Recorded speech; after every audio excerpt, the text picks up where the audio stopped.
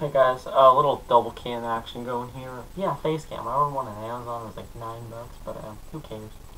Uh, so basically, I have a problem with Sea of Thieves at the current moment.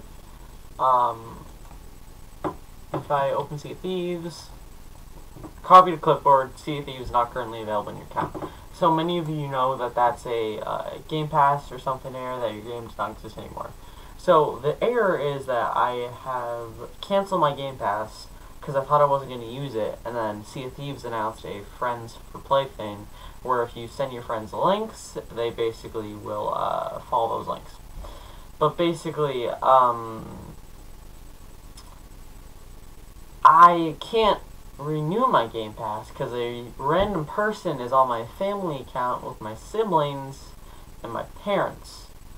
So, I can't do that at all. Uh, so no more Sea Thieves content. Instead, this video is being uploaded late night. Uh, tomorrow, Saturday, uh, we're going to be releasing a Apex Legends video. It's a new Battle Royale. I've been playing on Xbox. Crap ton. I think I'm like level 15. Um, and instead that video is going to come out tomorrow.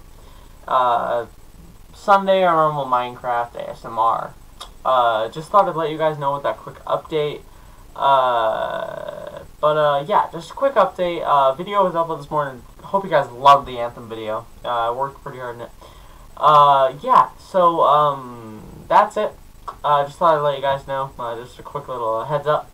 And uh, yeah, hope you guys enjoyed the video, and I'll uh, see you tomorrow for some Apex Legends.